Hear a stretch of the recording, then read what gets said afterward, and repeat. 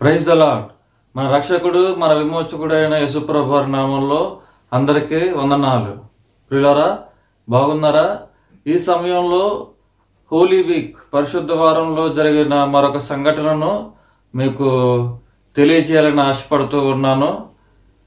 చెట్టును శపించిన సృష్టికర్త అది ఎంతవరకు సమంజసం అనే మాట చాలామందికి తెలుసు దేవుడిని ఎరిగిన ప్రజలకు. ఈ పరిశుద్ధ వారంలో యేసుప్రభు వారు ఇరుషలేమునకు ఆ యొక్క గాడిద మీద ఇరుషలేమునకు వెళ్ళి వచ్చిన తర్వాత మరునాడు ఆ బెతనియా గ్రామం నుండి మరలా ఇరుషలేమునకు వెళ్తూ ఉంటుండగా పిల్లరా మనం ఆలోచన చేసినప్పుడు అక్కడ ఒక దూరం నుంచి ఒక అంజురపు చెట్టును చూస్తాడట. ఆ మాటలు ఉన్నాయి బైబిల్లో పదకొండో అధ్యాయం మార్పు సువార్త పన్నెండవ వచనం. మరునాడు యేసు బేతనియా నుండి వెళ్ళుచుండగా ఆయన ఆకలి కొని ఆకుల గల ఒక అంజూరపు చెట్టును దూరము నుండి చూచి దాని మీద ఏమైనాను దొరుకునేమో అని వచ్చెను.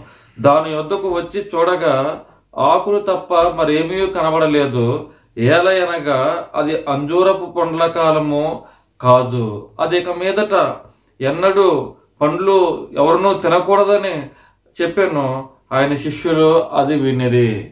కనుక పిల్లరా మనం ఆలోచన చేసినప్పుడు మరునాడు ఆయన బేతనియా నుండి రిషలంకు వెళ్తూ ఉంటుండగా దేవాలయంకు వెళ్తూ ఉంటుండగా ఆకలి కొని ఆయన ఒక అంజూరపు చెట్టు దూరం నుంచి చూశాడట. వెళ్ళి దగ్గరికి వెళ్ళి అక్కడ పండ్లు ఏమన్నా దొరుకుతాయేమో నాకు ఆకలి అవుతుంది కదా అని అంజూరపు చెట్టు దగ్గరికి వెళ్ళాడట. వెళితే పండ్లు వెతికినా సరే అక్కడ పండ్లు కనిపించలేదు. అప్పుడు ఆ యొక్క చెట్టును శపించినట్టు మనం చూస్తాం. ఆ తర్వాత మరలా మర్నాడు వాళ్ళు వస్తూ ఉంటుండగా ఆ చెట్టు వేళ్ళతో సహా పైకి లేచి ఎండిపోయినట్లుగా ఇక్కడ ఉంది. ఎద్దున వారు మార్గమున పోచుండగా అంజూరపు చెట్టు వేళ్ళు మొదలుకుని ఎండు ఉండుట చూచిరి. పొద్దున్న చూసేసరికి మరలా అది ఎండిపోయి ఉందట. అయితే చెట్టు శపించబడింది. చాలా మందికి విషయాల్లో ఎన్నో మరి అనుమానాలు ఎన్నో డౌట్లు ఉన్నాయి ఉంటాయి. ఏంటంటే ఇప్పుడు పండు తినడానికి వెళ్ళాడు ఈయన ఆకలి వేసింది. మరి పండు లేనప్పుడు ఆయన శపించాడు. ఎందుకు చెప్పించాడండి ఎందుకంటే అక్కడ ఉంది ఏలై అనగా అది అంజూరపు పండ్ల కాలము కాదు అని ఉంది మరి అలాంటప్పుడు ఎందుకు చెప్పించాడండి అని అంటారు. అయితే పిల్లరా దీనికి మంచి మరి దైవజనులు ఆత్మీయులు ఆ, పితృ సమానులు ఎంతో మంది అనుభవజ్ఞులు ఎన్నో విషయాలు చెప్పారు. మెయిన్గా సంఘానికి విషయం ఏమని చెప్తారంటే అక అం- అంజూరపు పండ్ల కాలము కాదు అయినప్పటికీ పండు కోసం చూశాడు. అలాగే క్రైస్తవులు విశ్వాసులు మరి ఫలించే సమయం ఇప్పుడంతా. అలాగే ఫలించని సీజన్ ఒకటి వస్తుంది. వారికి కష్టకాలం వస్తుంది. అప్పుడు కూడా ఫలించాలి అనే ఆ పరంపరలో ఎన్నో ప్రసంగాలు మనం విన్నాం. అయితే దేవుడి విరోధులు వాక్యం ఇష్టపడిన వారు మరి ఇలాగ మీరు ఎంతవరకు అది సమంజసం సమంజసమండి అని అంటూ ఉంటారు. అయితే పిల్లలు ఏది ఏమని ఇక్కడ ఒక విషయం మీకు నేను చెప్పాలని ఆశపడుతూ ఉన్నాను. అంజూరపు పండ్ల కాలము కాని సమయంలో సృష్టికర్త అక్కడికి వెళ్ళి అంజూరపు చెట్టును ఎందుకు శపించాడు అని చాలా మంది ప్రశ్న బైబిల్ విరోధులు హేతువాదుల ప్రశ్న. ఏమంటే దేవునికి తెలియదా? మరి ఆయనకి ఆ మాత్రం తెలియదా? చ- అది ఆ విషయం ఆయన తెలుసుకోలేడా? చెట్టు కింద ఉన్న నతనీయులను చూసిన దేవుడు ఏమంటే చెట్టు చాటును తాకున్న ఆదామును చూసిన దేవుడు ఎన్నో రహస్య స్థలముల్లో చూసిన దేవుడు ఆ చెట్టుకు పండు లేదన్న సంగతి తెలియదా? అని అనుకోవచ్చు. అది పండ్ల కాలం కాదన్న సంగతి తెలియదా? అని అనుకోవచ్చు. ఏమంటే చాలా మంది అంటారు. అందుకే మనకి కొంచెం కొన్ని కొన్నిసార్లు దేవుని బాహుల్యము దేవుడి జ్ఞానం విరితనంగా కనబడుతుందంట.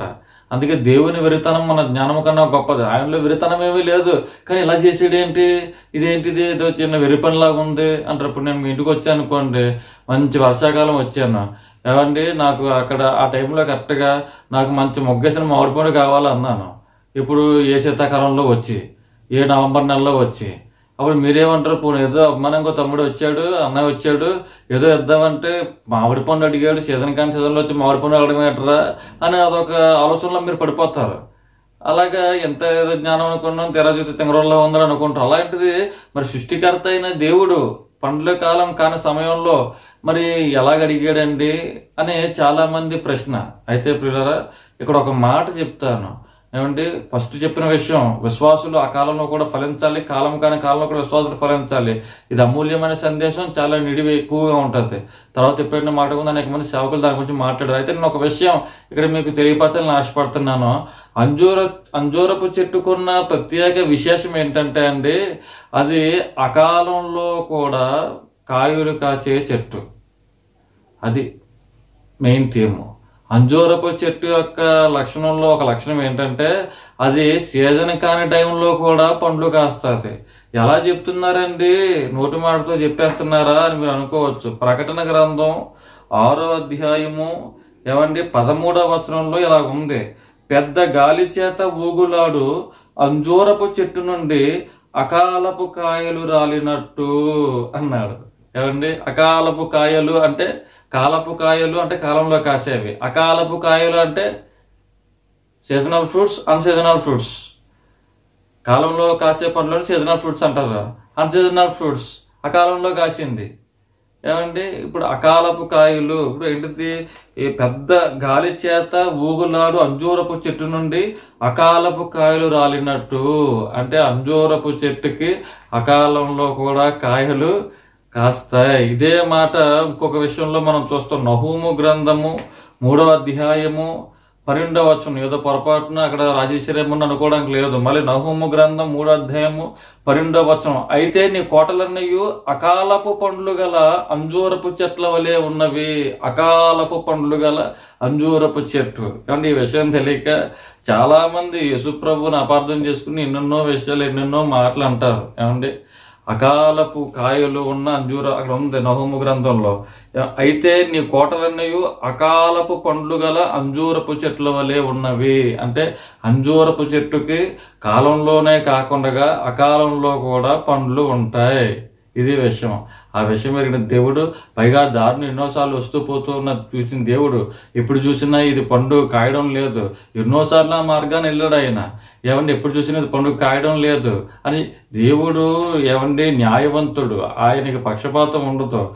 ఆయన నీతి న్యాయములు ఆయన సింహాసనములకు ఆధారాలు. ఇలా ఎందుకు చేసేవయ్యా అని ఎవరు అతనికి ప్రశ్నవయ్యే నగత్యము లేదు. అంత గొప్పవాడు. ఏమండి? మీరు ఎన్ని యోబు అంటాడో ఒక సందర్భంలో నేను ఆయనతో వ్యాజ్యమాడాలని కోరుకుంటే వెయ్యి మాటల్లో ఒకదానికి కూడా నేను ఆయనకి సమాధానం చెప్పలేను అంటాడు యోబు గ్రంథంలో. ఏమంటే చాలా మంచి మాట అది. చూడండి అప్పుడు యోబు ఎలాగో పత్రం ఇచ్చాడు ప్రత్యుత్తరం ఇచ్చాడు తొమ్మిదో అధ్యాయం రెండో వచనం. ఏమండి?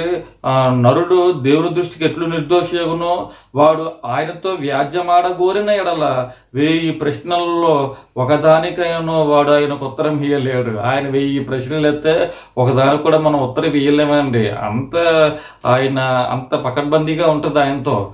ఏమండి? ఆయన వాదమైన ఆయన వ్యాజ్యమైన ఏదైనా న్యాయం న్యాయంగా ఉంటది. కొంచెం కూడా తప్పిపోవద్దు. కనుక పిల్లలు తెలియక ఎన్నో మాట్లాడుకుంటాం అంజూరపు చెట్టును ఈ విషయాలు చాలా మందికి తెలియదు. అందుకే ఈ విషయం ఈ సమయంలో నేను చెప్పాను. అంజూరపు చెట్టును చెప్పించడంలో అది అకాలపు పండ్ల కాలం కాదు కదా అనుకుంటాం. కానీ అంజూరపు చెట్టు యొక్క విశేషం ఏంటంటే అకాలంలో కూడా పండ్లు కాస్తాయి. అందుకే అకాలపు పండ్లు గల అంజూరపు చెట్టు వలె అన్నాడు. కనుక పిల్లల విశ్వాసులు కూడా ఇప్పుడు అంతా మనకు క్షేమంగా సాగిపోతుంది. అయితే అందుకే అంజూర చెట్టుతో పోల్చాడు దేవుడు. మన రానున్న దానంలో కరోనా ఇది రెండవ క్రీస్తు రెండవ రాకడకు మరొక సూచన అన్నాను నేను. ఇది ఆరంభం. ఇంకా ఎన్నో మరి దైవజనులు చెప్తున్నారు. ఎన్నో ఎన్నో ఎన్నో బైబిల్ చెప్తుంది. ఎన్నో వస్తాయి. తెగుళ్ళు వస్తాయి. కడవరి తెగుళ్ళు వస్తాయి. ఏమండి క్రోధం వస్తుంది ఖడ్గం వస్తుంది యుద్ధాలు జరుగుతాయి. ఇవన్నీ జరుగుతాయి. అలాంటి సమయంలో నేను భూమి మీద విశ్వాసాన్ని కనుక్కుంటానా అన్నాడు ఆయన. విశ్వాసాన్ని నేను చూడగలనా? అన్నాడు యేసుప్రభు వారు కనుక ప్రియులరా మరి అంజూరపు చెట్టు అంటే అవి అలా అటువంటి కాలంలో కూడా అటువంటి కష్టకాలంలో కూడా ఫలించేది ఆ మన అంజూరపు చెట్టు. అకాలంలో ఫలించేది అంజూర చెట్టు. అలాగనే విశ్వాసి అటువంటి కష్టకాలం వచ్చినా ఎంత ఇబ్బంది వచ్చినా సరే ఫలించాలి అని దేవుడు కోరుకుంటున్నాడు. ఏమండి? మరి పౌలు శిలలను బంధించి చెరసాల్లో వేసినప్పుడు అది అకాలం వాళ్ళకి. పాటలు పాడడానికి సీజన్ కాదు వాళ్ళకి. మీటింగ్లో టెంట్ వేయలేదు వాళ్ళకి. ఏమండి బంధించేశారు కోటలో పెట్టారు కొట్టబడ్డారు రక్తాలు కారుతున్నాయి. అప్పుడు ప్రా- పాట పాడుతున్నారు. ఆయన పాట పాడుతుంటే వెంటనే చాలాసార్లు విడిపోయిందట. భూకంపం వచ్చిందంట. ఆ కాలంలో కూడా వాళ్ళు ప్రభువుని స్తుతించారు. దానియేలు అకాలంలో ఉన్నాడు. ఏ మనుషుడు ఏ దేవునికి నమస్కారం చేయకూడదో అని శాసనం వెలువడిపోయింది. అన్ సీజన్లో ఉన్నాడు ఆయన. కానీ ఆయన అకాలంలో కాలంలో కూడా ఫలించాడు అంజూరపు చెట్టులాగా కనుక ప్రియులారా అంజూరపు చెట్టుకున్న ప్రత్యేక విశేషం ఏంటంటే అకాలంలో కూడా ఫలిస్తా అకాలపు పండ్లు గల అంజూరపు చెట్టు. అది రెండు వచనాలు మీకు చూపించాను. కనుక మరి అబ్రహాము కూడా అకాలంలో ఫలించి నిరీక్షణకు ఆధారము లేదు ఆయనకి. అబ్రహాంకు నిరీక్షణకు ఆధారం లేని సమయాల్లో వందేండ్ల వయసులో దేవుని మాటను నమ్మాడు. అక ఆయన అకాలంలో కూడా దేవుని విశ్వ ఫలించింది ఆయన విశ్వాసం. అందుకే విశ్వాసులకు తండ్రి అయ్యాడు.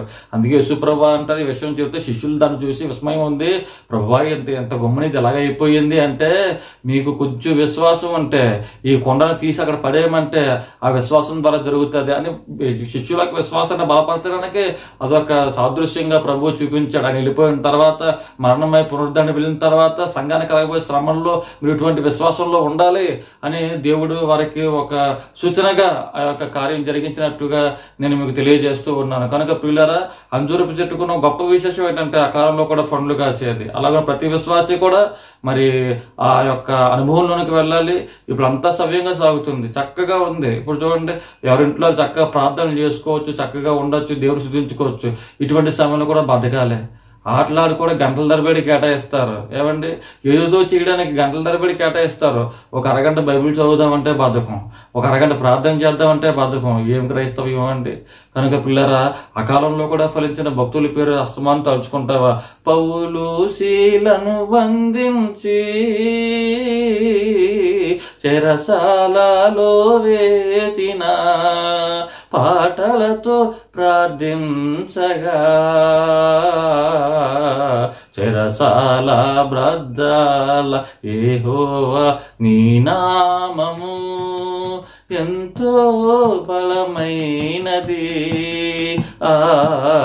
ఎంతో బలమై దేవుడి నామం ఎంతో బలమైంది. ఏమంటే సమయమందును అసమయమందును నేను ప్రకటిస్తాను అని పౌలు గారు అన్నట్లుగా మనం అటువంటి అనుభవంలోకి వెళ్ళాలి. మన పాటలు చూస్తేనేమో ఎంత సవ్యంగా ఉన్నప్పుడు నువ్వు దేవుని సూచించలేవు మళ్ళీ పాట పాడవేట ఆనాటి పౌలులా బ్రతకాలని ఆశ్చర్య కార్యాలు చేయాలని ఆత్మీయ శిఖరాలనే కాలని అపవాదిని చిదుక త్రొక్కాలని ఆశైతే ఉంది నాలో అందుకోలేకున్నాను నా చేయి పట్టుకో నా రక్షక.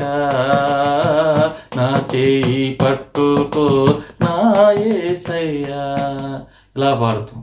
ఆశ అయితే ఉండడమే సరిపోదు. ఆశలో ప్రయత్నం కూడా ఉండాలి. కనుక పిల్లరా పౌలు గారు అంత గొప్ప సేవ చేయగలిగారండి అకాలంలో కూడా ఎలా ఫలించాడండి? ఆయన అంటే ఆయన అటువంటి సమర్పణతో ముందుకు సాగాడు. కనుక పిల్లరా అందరూ ఇళ్ళ దగ్గరే ఉంటున్నారు. ప్రార్థనలు చేసుకుంటున్నారా? మీ కుటుంబం కోసం దేశం కోసం పరిస్థితి కోసం ప్రార్థన చేస్తున్నారా? విశ్వాసం కలిగి ఉంటున్నారా? ఏమండి? క్రియలు లేని విశ్వాసము మృతము. క్రియలు లేని విశ్వాసము మృతము. కనుక ఇది గంటల తరబడి బయట బాధాకాని అంతా వేస్తారు కానీ దేవుని దగ్గర గడిపిన సమయం చెప్పవయ్యా అంటే ఉత్తినే చెప్పేస్తాం. ఏమండి? మూడు నాలుగు నిమిషాలు చెప్పేయచ్చు. మీరు కనుక అది కరెక్ట్ కాదు. దేవునితో ఎక్కువ కాలం గడపాలి. ఎందుకంటే ఇది చక్కగా దేవునితో గడపడానికి అవకాశం ఉండే సమయం. మనం ఫలించడానికి విశ్వాసంలో ఆత్మలో ఫలించే సమయం. కనుక ఈ సమయంలో మనము ఎంత ఫలించగలిగితే అంత మంచిది. ఒకనొక సమయం వస్తుంది. అప్పుడు కూడా మనం ఫలించాలి అంటే ఇప్పుడు మనం పునాది వేసుకోవాలా? అలాగే ప్రభు సన్నిధిలో విశ్వాసంలో ఫలిద్దాం. విశ్వాసంలో ఒక తారగా విశ్వాసంలో మరి అబ్రహామును ఒక విశ్వాసంలో తండ్రి అయినట్టుగా మనము కూడా ఒక మాదిరిగా మరి రాబో తరాల్లో నిలవాలని నా ఆశ. అటువంటి కృప పరిశుద్ధాత్మతో మనందరికీ అనుగ్రహించును గాక amen amen. Praise the Lord